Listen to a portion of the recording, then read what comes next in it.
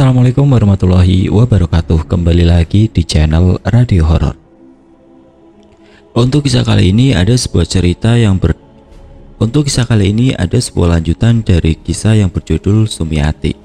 Dan untuk kisah kali ini yaitu sebuah kisah yang berjudul Desa Rawatelu Cerita yang menjadi pondasi dasar sebelum Sumiati dan angklek-angklek balungan besi Sebelum kita masuk ke ceritanya, tekan dulu tombol like video ini dan jangan lupa tekan juga tombol subscribe channel ini. Dan nyalakan juga lonceng notifikasinya agar tidak ketinggalan cerita-cerita baru dari channel ini. Bagi teman-teman yang ingin membaca langsung ceritanya, nanti silahkan saja kunjungi linknya yang nanti akan saya sertakan di kolom deskripsi. Dan seperti apa untuk kisah kali ini? Langsung saja kita simak berikut ini.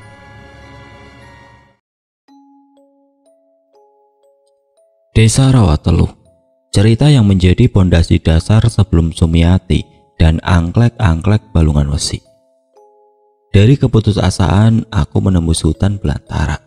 Melalui angon sukma, aku memulai semuanya. Aku menatap atasanku tidak percaya, akhirnya tiba juga giliranku. Aku tahu benar kalau pabrik sedang terpuruk, namun aku tidak pernah menyangka akan diberhentikan. Secara aku sudah mengabdikan diri selama 10 tahun. Harusnya cukup untuk mempertimbangkan kelayakanku ada di pabrik ini. Pak, apa tidak bisa difikirkan lagi kelayakan saya untuk tetap bekerja di sini? Tanyaku memastikan. Maaf pak, keputusan pabrik sudah bulat. Ya mau tidak mau aku harus menerimanya. Sembari mencari opsi lain untuk bertahan hidup. Aku pulang menembus kerumunan demo yang mulai anarkis, kumpulan buruh sepertiku yang juga diberhentikan oleh pabrik. Masih segar di pikiranku tentang ban yang dibakar, juga tentang raungan buruh yang bingung akan mendapatkan penghasilan di zaman yang serba susah ini. Namun aku tidak ambil bagian atas insiden itu. Aku memilih melamun di dekat sungai sembari menyalakan rokok yang tinggal satu biji. Memikirkan bagaimana kelanjutan hidup. Sudah tiga bulan menunggak kontrakan, sudah tiga bulan tidak gajian, sudah tiga bulan anak makan dari rasa kasihan tetangga. Anda istriku masih hidup, pastilah semua akan lebih mudah.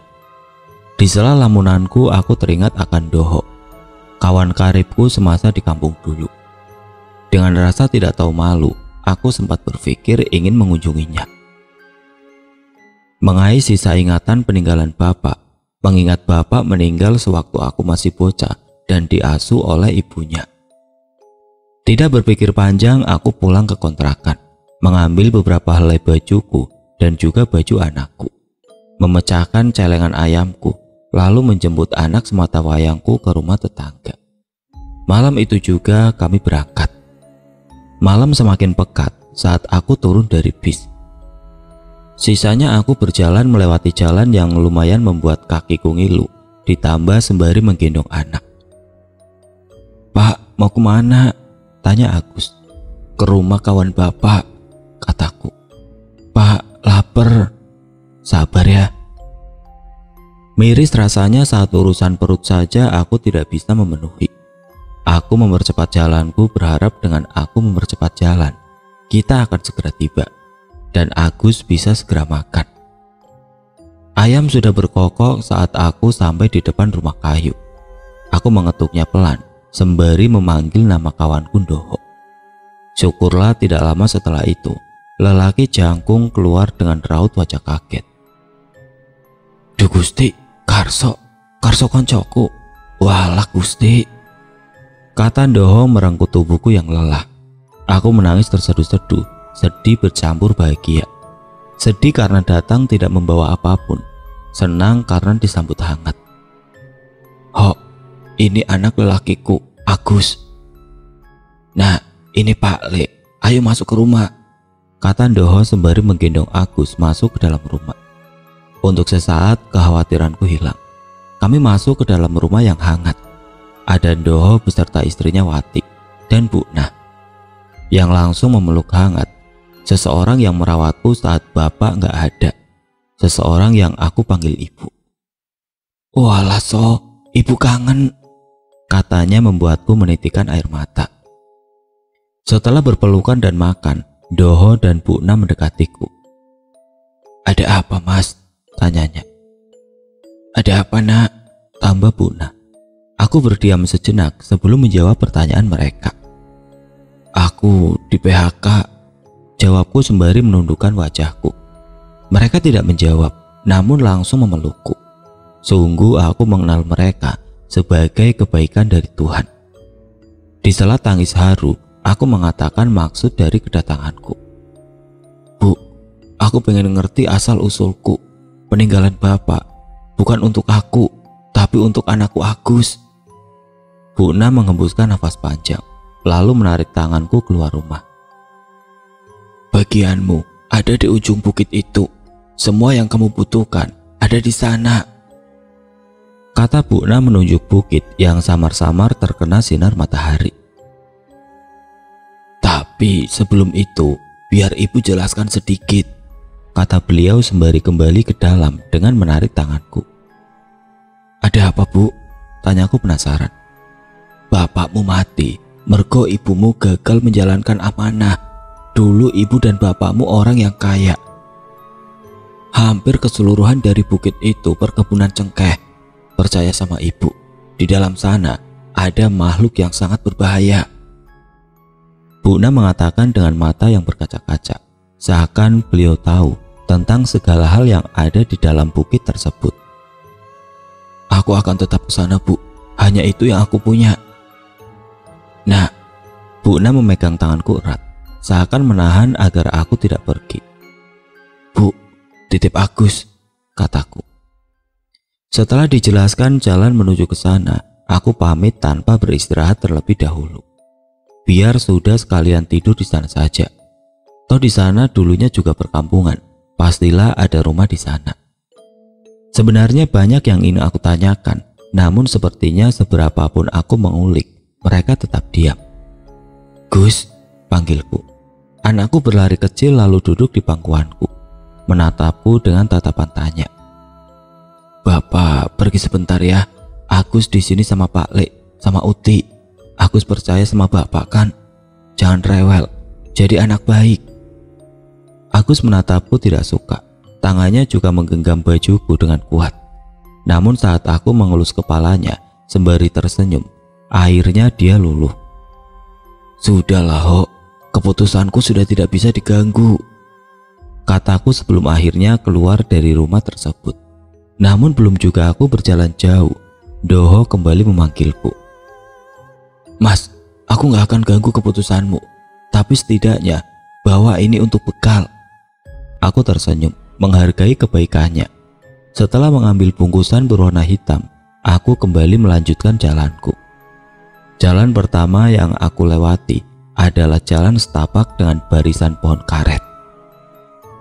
Sedikit lebih masuk, aku melewati jalan dengan pohon bambu di kanan kirinya. Jalan ketiga sudah tidak ada lagi jalan setapak, yang artinya warga desa sebelah hanya sampai di sini saja. Tidak masuk lebih dalam. Semakin masuk, semakin terlihat banyak pohon cengkeh. Mungkin inilah bagian dari desaku, peninggalan orang tuaku. Semakin masuk, semakin tinggi pula rumput yang harus aku lewati. Sampai akhirnya terlihat gapura dari kayu yang bertuliskan Desa Rawatelu. Aku memasukinya dan banyak sekali bangunan-bangunan yang setengah roboh, bangunan-bangunan yang sudah lama ditinggalkan. Terlihat bangunan-bangunan itu sangat mengerikan. Bagaimana tidak? Bangunannya roboh dan sudah ditumbuhi banyak lumut, juga rumput yang begitu tinggi. Namun semakin aku masuk ke desa itu, ada satu bangunan, lebih tepatnya satu-satunya bangunan yang masih berdiri kokoh. Bangunannya sangat besar dan terbuat dari kayu jati. Mungkin itu sebabnya dia tidak roboh. Aku memasukinya, coba mencari tahu apa saja yang terdapat di dalam sana. Sungguh saat aku masuk, ruangannya sangat besar, menyerupai aula. Lantainya dari kayu dan terdapat dua lantai dengan tangga yang terbuat dari kayu juga. Awal aku masuk, ruangan di bawah hanya terdapat meja dan kursi. Di belakangnya dapur dan saat aku naik ke atas, aku sedikit ngeri karena suara dari dari tangga yang terlampau nyaring. Namun kupaksakan. Di ruang atas terdapat tiga kamar. Kamar pertama seperti kamar pada umumnya, kasur dan meja rias. Kamar kedua seperti kamar anak kecil, terlihat dari beberapa mainan kayu yang bergeletakan. Sedang kamar yang ketiga terdapat tirai hitam di balik pintu. Dan betapa kagetnya aku saat aku sibak tirai itu yang langsung memperlihatkan nampan berisi sesajian. Aku mendekat. Kulihat kepala kerbau tertancap di atas. Di bawahnya terdapat bekas bunga kering, juga kertas-kertas yang bertuliskan aksara Jawa. Aku membaca satu persatu, mencoba mengerti apa yang tertulis di tiap lembarannya dan kaget bukan main saat mengetahui kalau ternyata kertas-kertas itu bertuliskan sebuah penawaran, pemanggilan, dan juga serah tumbal. Aku merasakan jantungku berdegup kencang. Saat di balik kertas itu tertulis nama durasi, nama ibuku. Karena merasakan kengerian yang teramat sangat, aku pun berencana pulang. Ternyata benar yang dikatakan Bu Nat pernah terjadi perkara besar di sini dan kedatanganku ke sini salah. Aku menaruh kembali kertas-kertas itu ke tempat semula sebelum beranjak pergi. Brak!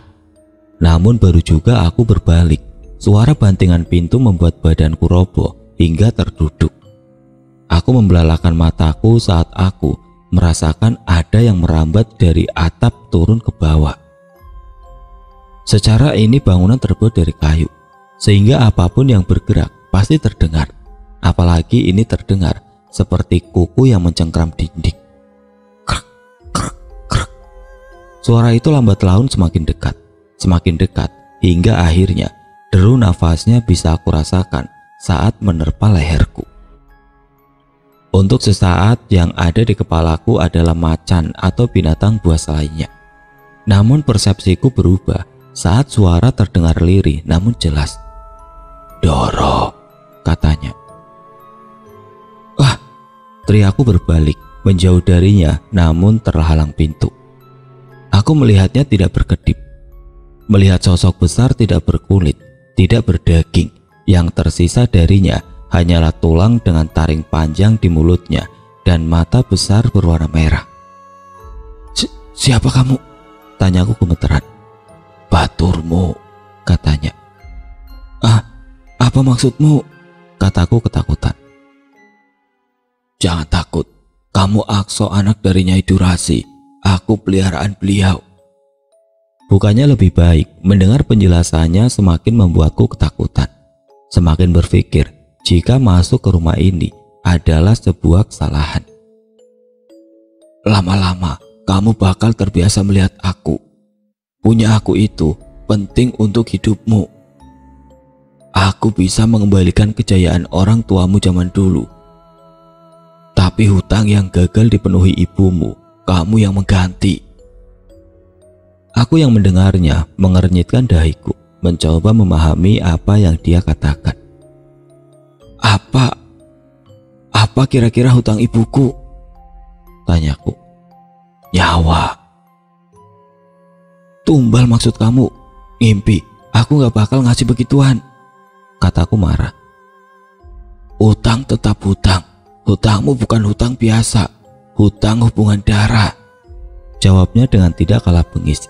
Terlihat dari wujudnya yang lambat laun berubah. Aku yang melihatnya semakin ciut.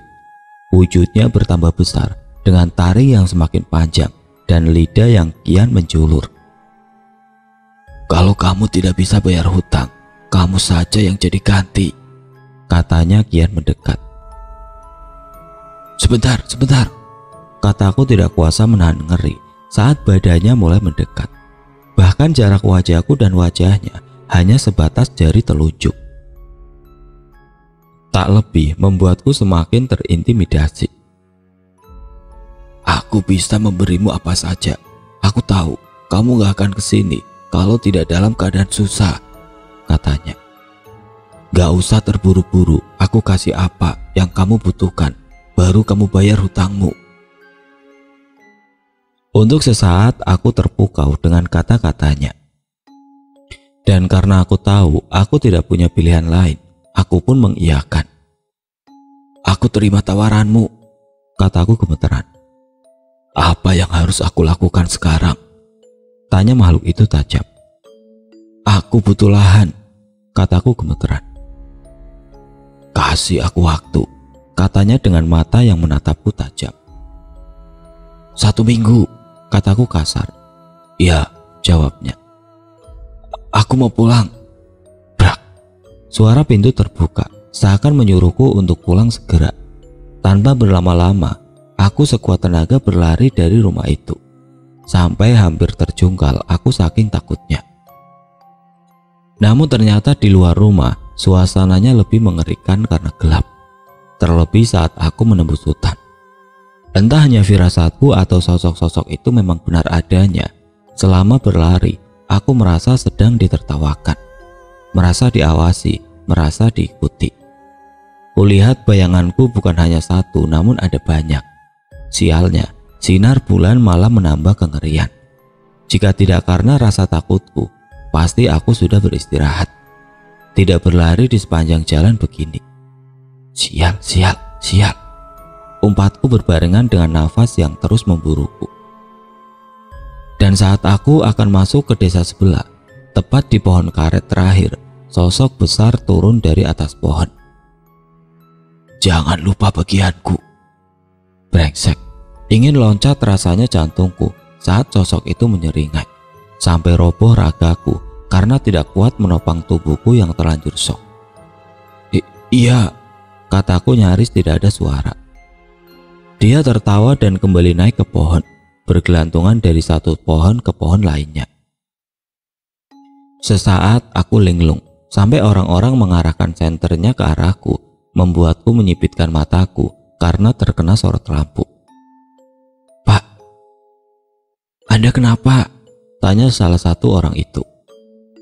Karena tidak ada jawaban dariku, mereka membawaku ke pos ronda, memukul kentongan untuk mengumpulkan warga desa, dan pada saat itulah Bukna datang dengan tergesa lalu membawaku pulang. Beliau melihatku tidak berkedip, mengamati wajahku yang lesu dan tatapanku yang kosong. Sebenarnya tidak sekosong itu juga, karena aku bisa mengingat semua detailnya. Hanya saja badanku terlalu sok untuk sekedar bereaksi. Malam berganti pagi, saat Agus membangunkanku untuk sarapan, aku yang mengingat tentang semalam pun segera bergegas bangun menemui Bu Na guna menanyakan wartel terdekat. Bu Na, ibu tahu wartel yang dekat? Tanyaku. Bu Na mengeringitkan dahinya. Ada apa sih so? Bangun-bangun kau nanyain wartel? Tanya Bu Na keheranan. Hmm, mau ngabarin temen, kataku meyakinkan. Pak Kades ada telepon, kamu numpang di situ saja. Kalau cari wartel harus ke kota kata Bunda. Mendengar itu aku pun bergegas mengganti baju dan keluar dari rumah. Namun belum juga aku keluar dari pintu, Doho memaksa untuk ikut. Karena tidak ingin mengulur waktu, aku pun mengizinkan. Tahu persis rumahnya Kades pun aku nggak tahu. Kenapa sih mas? Kok mendadak sekali? Soalnya waktuku nggak banyak, kataku menjawab seadanya. Namun saat Doho ingin kembali bertanya, Aku mengisyaratkan untuk diam. Nanti saja aku jelaskan di rumah. Kataku bergegas masuk ke rumah Kades. Untung Pak Kades sangat baik hati, membolehkan aku menggunakan telepon genggamnya. Aku rogoh sakuku untuk mengambil dompet. Di dalamnya masih ada satu nomor yang bisa aku hubungi. Halo? Halo? Halo? Um, di, aku Karso kataku antusias. Loh, Pak Karso? Ada apa, Pak? Tanya suara dari seberang. Tolong kasih tahu buru, saya ada pekerjaan untuk mereka. Tolong, Pak, saya cuma percaya sama Pak Edi. Kataku tulus. Kalau boleh saya tahu, pekerjaan apa, Pak? Saya kasih tahu pas mereka sampai di sini. Yang mau saja bawa tabungan untuk satu bulan untuk biaya hidup sebelum gajian. Kataku menjelaskan. Baik pak, nanti saya kabari yang lain. Bilang sama mereka, saya tidak akan mengecewakan. Saya lakukan yang terbaik, Pak. Tapi saya tidak bisa menjanjikan banyak. Iya, makasih banyak, Pak. Aku menutup telepon sembari memegang tangan kananku yang tengah bergetar. Hanya kemungkinan buruk yang ada di kepalaku membuatku gelisah. Mas, sebenarnya ada apa? Hmm, kita pulang dulu. Sebelum keluar rumah, aku berpamitan dengan Kades terlebih dulu. Berterima kasih pada kebaikan hatinya yang sudah memperbolehkanku meminjam telepon rumahnya. Baru juga masuk ke dalam rumah, aku sudah dibombardir dengan banyak pertanyaan. Aku menerima tawaran sosok yang ada di dalam hutan itu. Namun saat aku menjawab demikian, mereka semua bungkam, menatapku dengan tatapan tidak percaya. Kamu membawa dirimu dalam bahaya sok. Jika tidak bisa memenuhi, bisa jadi kamu yang jadi gantinya. Dari awal aku datang ke sana, aku sudah diperingatkan. Tidak usah ibu memperjelas, yang pasti jika terjadi apa-apa padaku, aku titip Agus. Bu Na memandangku dengan tatapan prihatin.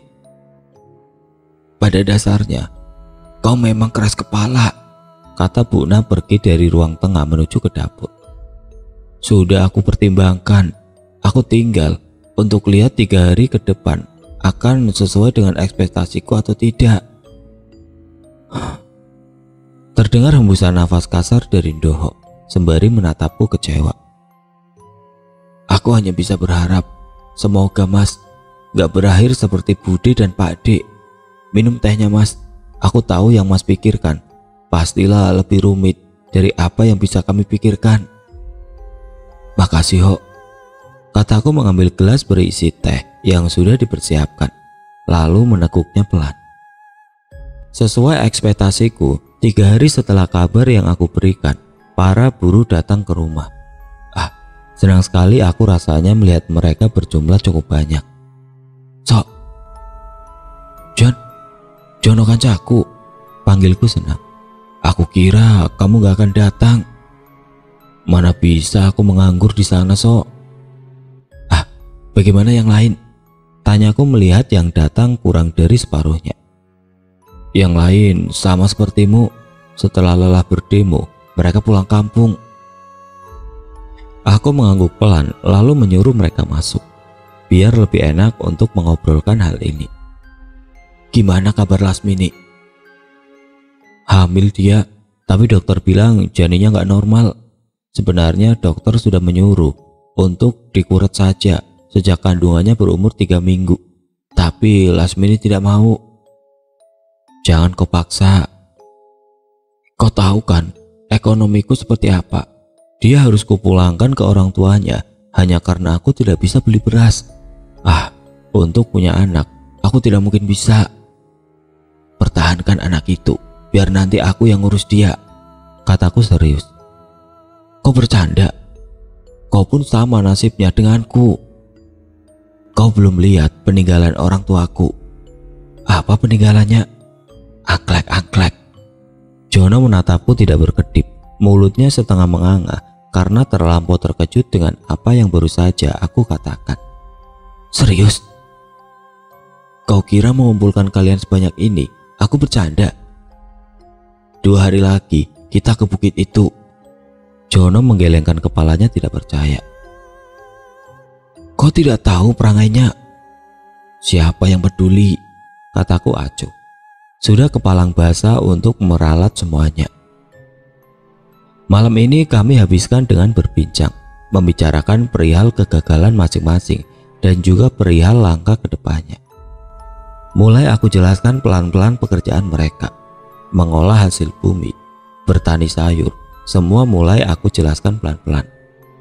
Hingga sampai di hari yang sudah aku janjikan, pagi-pagi sekali kami berangkat, menembus gerimis yang lambat laun mulai hilang. Kami sampai di Tugu Desa Rawatelu. Siang hari, aku masuk lebih dulu, dan alangkah terkejutnya aku saat rumah yang tadinya hampir roboh dan rumput yang setinggi perut kini rata menyisakan lahan lapang dengan satu rumah yang masih berdiri kokoh. rumah yang aku datangi tempo hari. Wah, inilah hanya Pak Karso. Tanya salah satu guru yang aku bawa. Ya, nantinya rumah-rumah dinas kalian akan dibangun di sana. Aku mengatakan sembari menatap kagum ke arah lahan kosong yang sudah rapi tersebut. Karena sudah berjalan jauh, aku menyarankan untuk semuanya agar beristirahat di rumah yang aku datangi tempo hari. Mengingat rumah itu sangat besar dan cukup untuk menampung kami semua. Pagi-pagi sekali aku membangunkan mereka. Banyak pekerjaan yang mesti mereka kerjakan. Membangun rumah, mengolah hasil panen, dan juga melakukan apa yang perlu dilakukan. Pagi berganti pagi, hari berganti hari, tepat lima bulan semuanya mulai stabil. Rumah sudah terbangun, tertata rapi dengan sajen di depan rumah. Hasil panen semakin meningkat, juga sudah kutemukan pasar untuk hasil panen. Lambat laun semua keluarga dari pekerjaku membawa anak istrinya.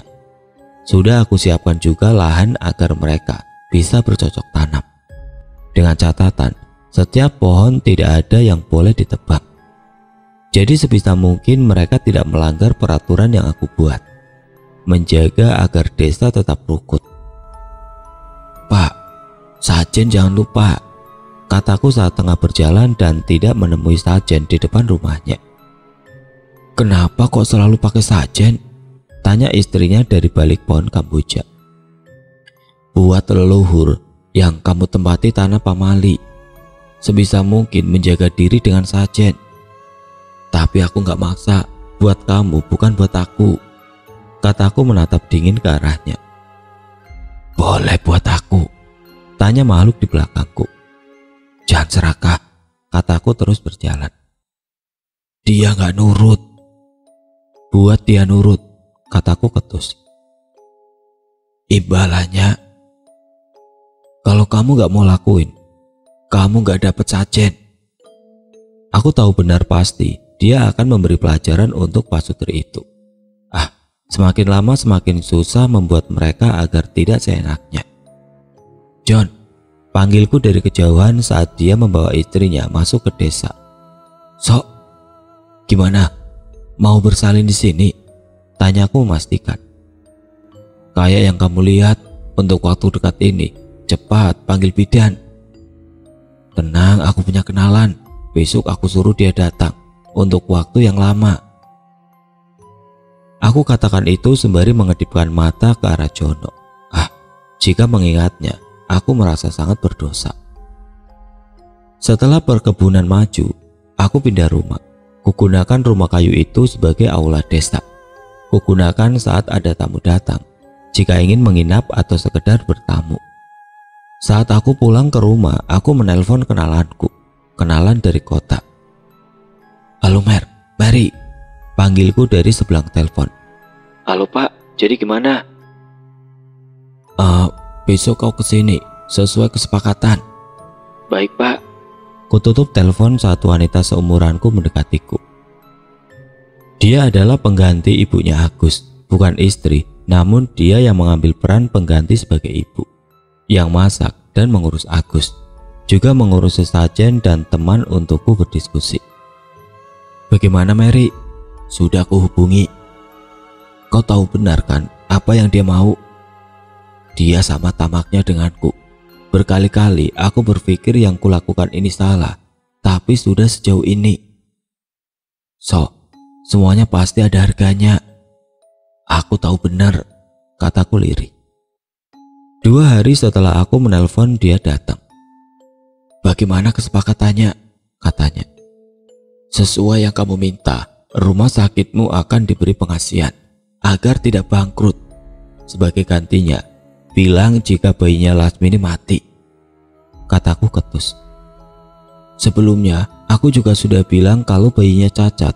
Itu membuat suaminya untuk mau menyerahkan bayi itu padamu sok. Bukankah seharusnya aku dapat lebih banyak. Ah, belum juga kau lakukan tugasmu, Mer.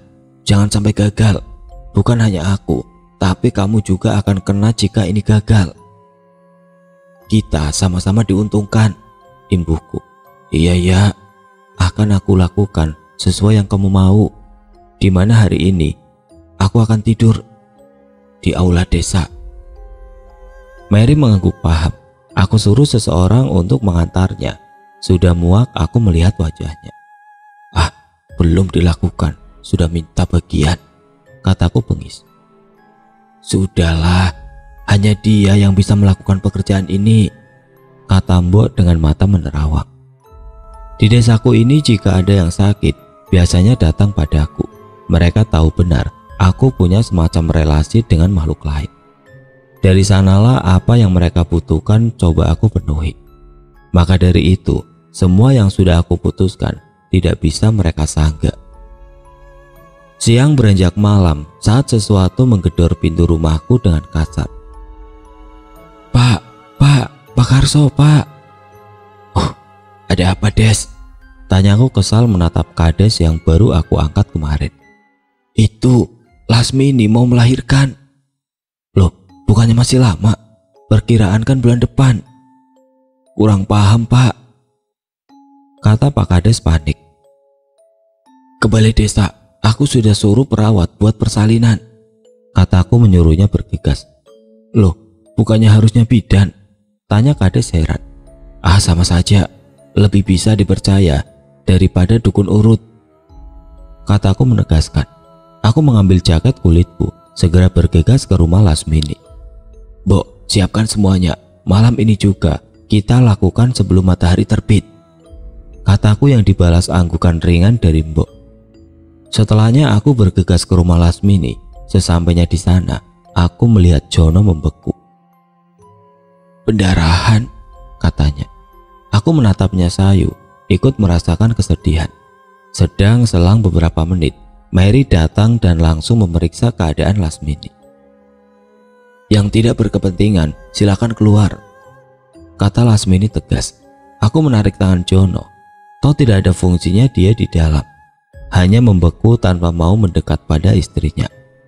Setelah keluar, aku duduk di kursi bambu, menghisap rokok untuk mengurangi keteganganku saat mendengar rintihan demi rintihan. Bagaimana kesepakatannya? Tanyaku. Persetan dengan bayinya. Lihat istriku sok. Dia hampir mati. Duh sudah anakku cacat. Kini istriku hampir mati karena mengandungnya. Aku menepuk-nepuk punggungnya sebagai bentuk kalau aku peduli. Ah! Namun teriakan panjang disusul dengan tangis bayi merenggut fokusku. Aku masuk dengan tergesa dan menemui bayi merah yang tengah digendong Mary. Sini bayinya, pintaku. Bayi itu dibedong tanpa dimandikan saat digendonganku pun dia masih menangis. Ibunya selamat, hanya saja pendarahan membuatnya kehilangan sadar. Tapi aku pastikan dia tetap hidup, kata Mary saat Jono masuk menyusulku. Sok, boleh aku lihat bayinya? Tanyanya. Jangan, kau tidak akan kuat. Dan lagi, sematkan di kepalamu kalau bayi ini sudah mati. Bilang pada Lasmini demikian. Mati, Kau apakan bayiku sok? Kau bilang mau mengurusnya. Tidak John, dia akan aku berikan ke angklek-angklek. Kataku keluar dari rumah itu tanpa menunggu jawaban. Sok, jangan lancang kamu, katanya ketus. Bayimu atau Lasmini, kataku dingin. Di balik punggungku sudah berdiri sosok yang tengah menunggu bagiannya. Bukan seperti itu kesepakatannya, Sok kata Jono menatapku nanar. Ah, bagianku, kata sosok di belakangku yang membuatnya tidak berkutik. Aku pergi dengan bayi di gendonganku, membawanya ke belakang rumahku. Yang aku tidak tahu, saat aku pulang, Jono memberitahukan semuanya pada Lasmini. Jadi di sinilah dia, merusak segala yang sudah aku rancang dari jauh-jauh hari. Mengobrak-abrik sajen saat ritual masih setengah jalan dan membuat sosok di belakangku marah.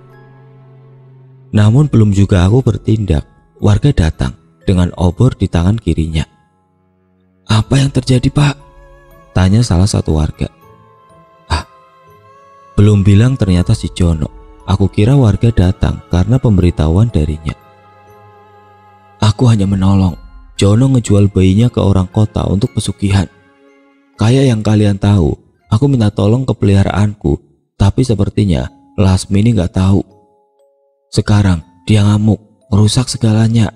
Yang dia nggak tahu peliharaanku yang memelihara kalian. Kalau dia marah, nggak ada hasil panen. Kataku penuh penekanan, sembari menatap Mary yang penuh tanya, tidak tahu apa yang baru saja aku katakan. Tega kamu mas, kata Lasmini.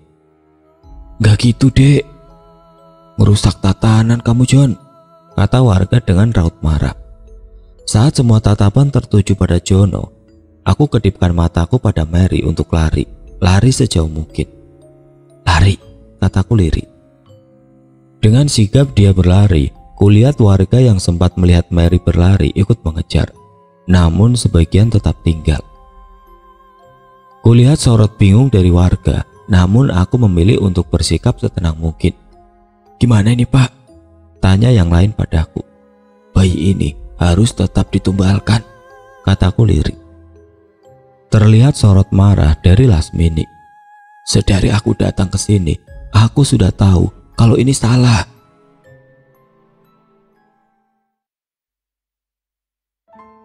Oke teman-teman, sampai di sini dulu ceritanya. Nantikan kelanjutan kisah ini di video berikutnya agar tidak ketinggalan. Klik tombol subscribe channel ini dan nyalakan lonceng notifikasinya. Wassalamualaikum warahmatullahi wabarakatuh.